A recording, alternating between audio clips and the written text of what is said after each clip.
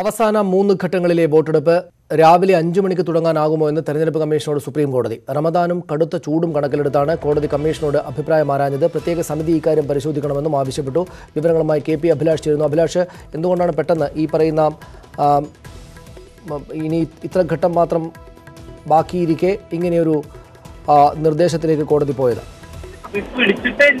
സനീഷ് തെരഞ്ഞെടുപ്പ് സമയം നേരത്തെ ആക്കണമെന്ന് ആവശ്യപ്പെട്ടുകൊണ്ട് കോടതിക്ക് മുന്നിൽ ചില ഹർജികൾ എത്തിയ പശ്ചാത്തലത്തിൽ കൂടിയാണ് ഇത്തരത്തിലൊരു നിർദ്ദേശം. അതായത് തെരഞ്ഞെടുപ്പ് രാവിലെ അഞ്ചു മണിക്ക് ആരംഭിക്കാൻ സാധിക്കുമോ എന്ന് പരിശോധിക്കണമെന്ന് തെരഞ്ഞെടുപ്പ് കമ്മീഷനോട് സുപ്രീം കോടതി ആവശ്യപ്പെടുന്നത്. ഇതിനുവേണ്ടി ഒരു പ്രത്യേക സമിതി തന്നെ രൂപീകരിക്കും. അങ്ങനെ സമിതി ഇതിന്റെ ഈ അഞ്ചു മണിക്ക് ആരംഭിക്കുക എന്നത് സാധ്യമാണോ? എന്തൊക്കെ മുൻകരുതലുകൾ എടുക്കേണ്ടി വരും? അഞ്ചു മണിക്ക് തെരഞ്ഞെടുപ്പ് ആരംഭിച്ചാൽ എന്തൊക്കെ പ്രതിസന്ധികൾ നേരിടേണ്ടി വരും. ഇത്തരം വിഷയങ്ങൾ ഗൗരവമായി പരിശോധിക്കണമെന്നും അടുത്ത ഘട്ടങ്ങളിൽ ഈ ഈ നിലയിൽ തെരഞ്ഞെടുപ്പ് നടത്താനാകുമോ എന്നതുൾപ്പെടെയുള്ള കാര്യങ്ങൾ പരിശോധിക്കണമെന്നും സുപ്രീം കോടതി ആവശ്യപ്പെട്ടത്.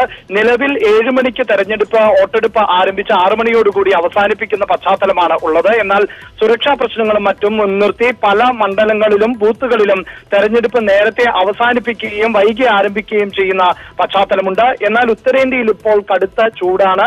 ഡൽഹിയിലടക്കം നാൽപ്പത്തിമൂന്ന് ഡിഗ്രി സെൽഷ്യസ് ആണ് കഴിഞ്ഞ ദിവസങ്ങളിലെല്ലാം തന്നെ ചൂട് രേഖപ്പെടുത്തിയിട്ടുള്ളത്. ഇത് ഉച്ച സമയത്തും മറ്റും വോട്ടർമാർക്ക് പോളിംഗ് ബൂത്തുകളിൽ ക്യൂ നിൽക്കുന്നത് വലിയ തോതിൽ ബുദ്ധിമുട്ടുണ്ടാക്കുന്ന സാഹചര്യമുണ്ട്.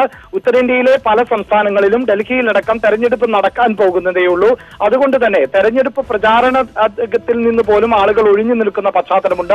നമുക്കറിയാം കേരളത്തിൽ പോലും ഉയർന്ന താപനിലയുടെ പശ്ചാത്തലത്തിൽ തൊഴിലാളികൾ അടക്കമുള്ളവർ പന്ത്രണ്ട് മണിക്ക് ശേഷം മൂന്ന് മണി വരെ വിശ്രമം എടുക്കണമെന്ന് കൃത്യമായ നിർദ്ദേശം നൽകുന്ന പശ്ചാത്തലമുണ്ട്.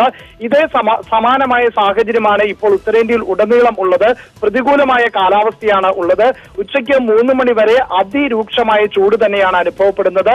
ഈ സമയത്ത് വോട്ടർമാർക്ക് എത്തിപ്പെടാൻ സാധിക്കാത്തത് വോട്ടിംഗ് ശതമാനത്തിലടക്കം വലിയ തോതിൽ കുറവ് വരുവാനുള്ള സാധ്യതയുണ്ട്.